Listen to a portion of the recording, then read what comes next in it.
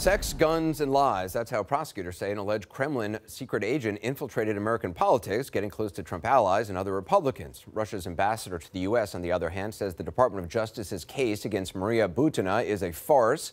Butina has pleaded not guilty to charges of conspiracy and acting as a covert Russian agent. The Russians have set up a hashtag in her defense. Her one time boyfriend, Paul Erickson, only adds to the intrigue. He's an American, conservative political operative. It's not clear where he falls into this alleged scheme. Prosecutors suggest he may have been manipulated by Butina, who's half his age. Joining me exclusively tonight, Maria Butina's attorney, Robert Driscoll. Robert, the government laid out a long list of communications that they say prove your client, Maria Butina, was a spy. And I want to read one between her and the Russian official she was communicating with immediately after Donald Trump won the election. She writes, quote, I'm going to sleep. It's 3 a.m. here. I'm ready for further orders. The Russian official says, think about it in which areas of life we could go for- towards bringing us closer. ISIS, understandably, what else we need to look at the American agenda. So you say your client is a Russian spy. How do you, I mean, why is she asking for further orders? I think that, like most of the government's case, is taken completely out of context. Those um, Twitter direct messages, which, by the way, um, most Russian spies don't communicate by Twitter, Twitter direct messages, which are unencrypted. Um, there's thousands of them between um, Alexander Torshin and Maria over years period, and they were gun rights advocates together and were friends. There's uh, Twitter direct messages about picking up toothpaste in America.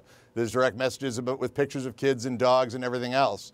And they um, both had an affinity for better American-Russian relations, but that certainly wasn't the purpose of her trip to the U.S. It was something they discussed once in a while. Here, here's another thing that the government says that they had. They, they flagged several direct messages between her and the Russian official where your client talks about going, quote, underground, going incognito, and having to be quiet and, and, careful, the government alleges that the message show her acting in a covert manner. To that, you say?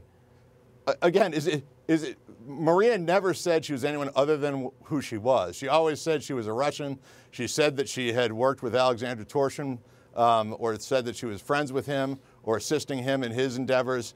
She never did anything covert at all. I think any discussion of them, of underground or covert versus public, is more to do with whether or not to have, for example, public conferences and invite Americans and Russians uh, on the gun issue or on other issues, or have more private dinners, which is what they ended up happening. It is interesting having. for someone who's alleged to be a spy that apparently, I mean, from what I've read from accounts from people who were at the university with her, she had a picture of Vladimir Putin on her phone, and she often spoke in defense of Vladimir Putin in class, which if she was trying to be incognito and be here as a spy, mm-hmm. I'm not sure that she, I mean, it seems but, odd that she would have a high profile in defense of Vladimir Putin. I, I would think if I, I, I was a spy for Vladimir that. Putin, I would actually go the opposite way and kind of downplay my like of Vladimir Putin.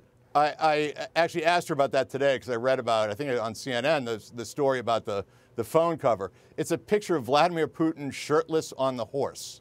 Mm. Um, so you, you can imagine, uh, you know, which she, she had as a gag.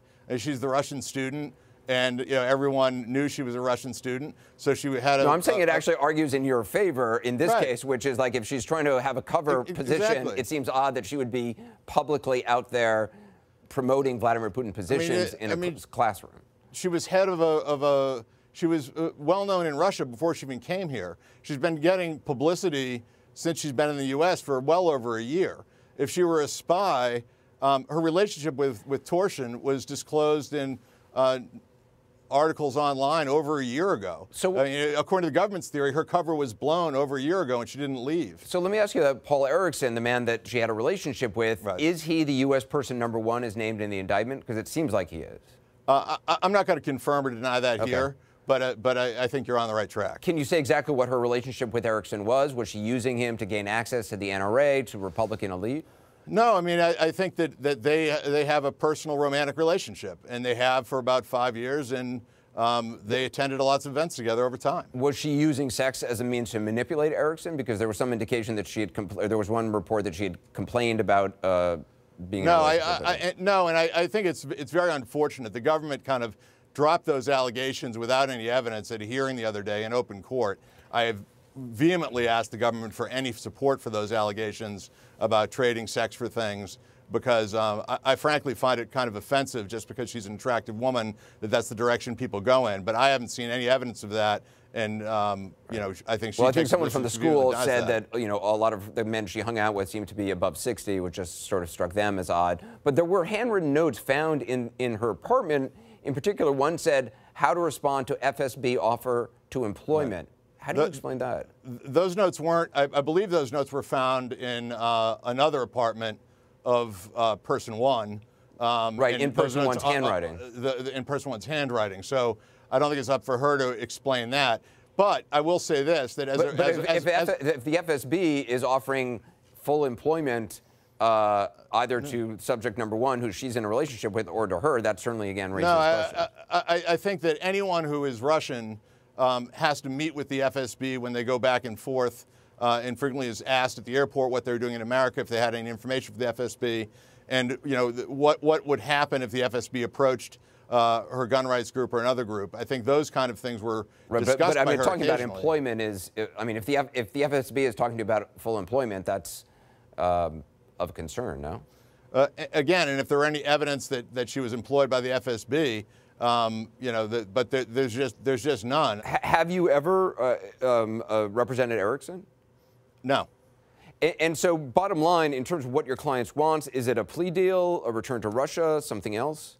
Uh, my client's innocent of the charges, and so what, what she wants to be is uh, we're going to establish that the government cannot prove a case here. The government has brought a case under the Foreign Agent Registration Act, which, by the way, no one has ever prosecuted under. Uh, and so essentially, it's a registration statute saying that if you're going to do uh, certain activities in the country, you have to register with the Attorney General of the United States. So they're acknowledging that everything she did is legal under U.S. law. Robert Driscoll, I appreciate your time. Thank you. Thank you.